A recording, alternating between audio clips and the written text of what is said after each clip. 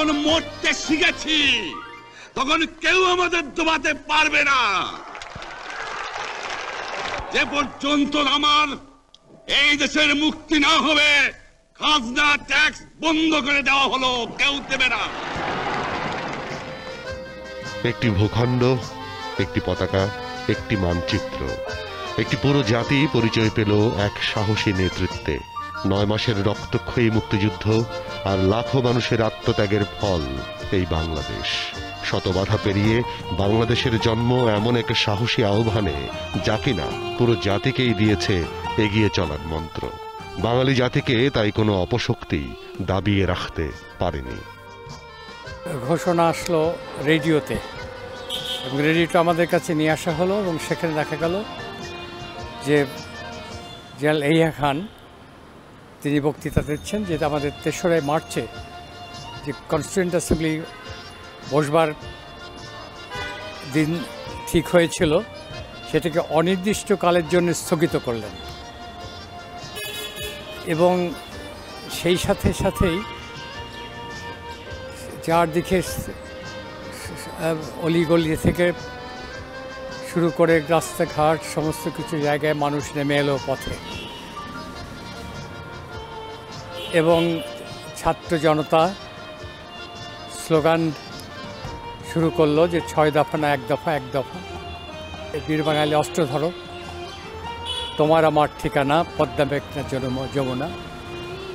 তো আমাদের, আমি আওয়ামী লীগের হুইপ ছিলাম, আমার উপরে দায়- দায়িত্ব ছিল বঙ্গবন্ধুর যে আমি যাতে সকল আওয়ামী লীগের নেতৃবৃন্দ যারা আছেন প্রেসিডেন্ট সেক্রেটারি বিভিন্ন জেলার তাদেরকে ডাকা হয় এবং আমরা সেই সম্মেলনটা করার কথা ছিল কুরবানি হোটেলে। বঙ্গবন্ধু পয়লা মার্চ থেকে শুরু করে পঁচিশে মার্চ পর্যন্ত উনি উনি সরকার চালিয়েছেন। অতএব ইতিমধ্যে তিনি দেশের দেশ পরিচালনা করছিলেন তিনি।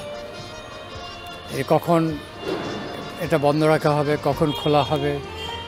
টেলিফোন, টেলিগ্রাম চলবে, কিন্তু পশ্চিম পাকিস্তানের সাথে কোনো কমিউনিকেশন চলবে না। অতএব কোনো জাহাজ আসতে পারবে না, যেতে পারবে না। এবং- পাকিস্তানকে পশ্চিম পাকিস্তানকে সম্পূর্ণভাবে পূর্ব বাংলা থেকে বিচ্ছিন্ন করে ফেলা হবে। কোনো তের তা ইয়ে তার যাবে না। অতএব পাকিস্তান তখনই বিচ্ছিন্ন হয়ে গেছে, এই মার্চ মাসেই। তখন পূর্ব বাংলা স্বাধীন হয়ে গেছে। এরকম একটি পরিস্থিতি সৃষ্টি হয়েছে। এই বঙ্গবন্ধুকে প্রায় বলতাম যে, আমাদের এই অবস্থানটা এমন একটা জায়গায় যাবে যখন তাদের নার্ভ ভেঙে পড়বে।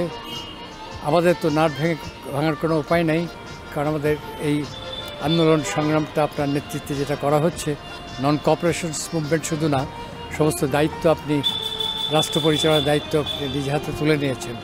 থাকবে কিন্তু এক সময় ওদের নার্ভ নষ্ট হবে এবং তারা আমাদের আক্রমণ করবে। সেই সময় জন্য আমাদের প্রস্তুত থাকতে হবে। প্রেসিডেন্ট ইয়া খান নেগোসিয়েট করার জন্য আসলেন, কিন্তু সেটা নেগোসিয়েশন ফলপ্রসূ হলো না।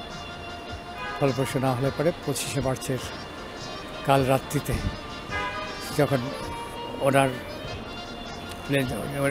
নিয়ে চলে গেলেন পাকিস্তানে, আর একটা বিরাট কাবারের গর্জন হলো।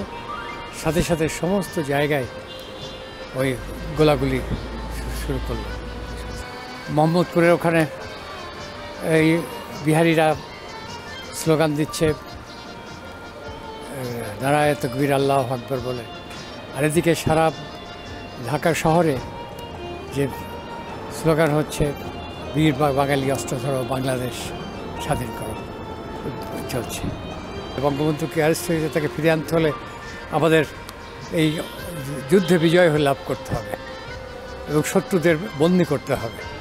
অতএব তার এগেনস্টেই যাতে বঙ্গবন্ধুকে আমরা ফিরে পাই। যে জন্য আমরা মুক্তিযুদ্ধের সময় যখন শত্রু ধরা পড়তো, তখন আমরা বলতাম যে তাকে যেন মারা না হয়। তাকে আমরা যুদ্ধবন্দী হিসেবে রাখি। অতএব এই যুদ্ধবন্দীদের এগেনস্টেই আমরা বঙ্গবন্ধুকে ফেরত পাওয়ার জন্যে। সতেরোই মার্চে এটা হয়েছিল, তো জন্মদিন পালন, তো বলে যে আমার আবার জন্মদিনই কি আর মৃত্যুদিনই সব দিনই আমার জন্য শোনান এই ধরনের কথা বলতেন আমি শ্রদ্ধা ভরে স্মরণ করছি, তার স্মৃতির প্রতি গভীর শ্রদ্ধা নিবেদন করছি এবং বাংলাদেশ এবং বঙ্গবন্ধু দুটোই চিরজীবী হবে। সবচেয়ে বড় অর্জন হচ্ছে জাতির জনক বঙ্গবন্ধুর সুযোগ্য কন্যা জননেত্রী শেখ হাসিনা হচ্ছে আমাদের সবচেয়ে বড় অ্যাসেট এবং তিনি যে উন্নয়নের ধারা দেশকে এগিয়ে নিয়ে চলেছেন, সারা বিশ্বাস্ত্রী নন্দিত এবং তার সুস্বাস্থ্য কামনা করি এবং দীর্ঘ জীবন কামনা করি। তিনি যে নেতৃত্ব দিচ্ছেন, এই নেতৃত্ব সফল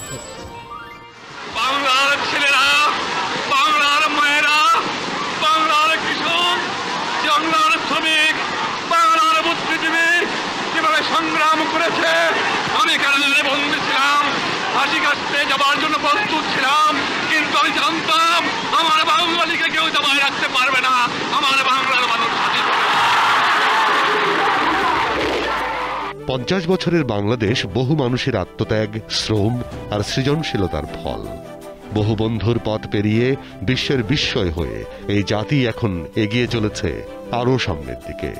জাতির পিতার সেদিনের সেই আহ্বান সেই দিক নির্দেশনা বহু মানুষকে আজ অনুপ্রাণিত করেছে বহু মাত্রায় কিছু মানুষ লাল সবুজের পতাকাকে এক অনন্য অনুপ্রেরণায় বই নিয়ে গেছেন এক দারুণ আত্মবিশ্বাসে। এই জাতিকে দাবিয়ে রাখা সম্ভব নয় কোনোভাবেই।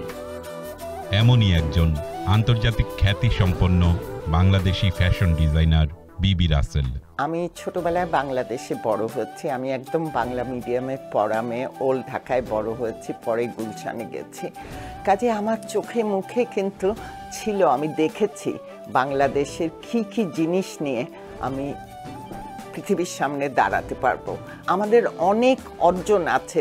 ভাষা আন্দোলন বলেন মুক্তিযুদ্ধ, কিন্তু আমরা ইতিহাস তৈরি করেছি এক টুকরো কাপড় দিয়ে।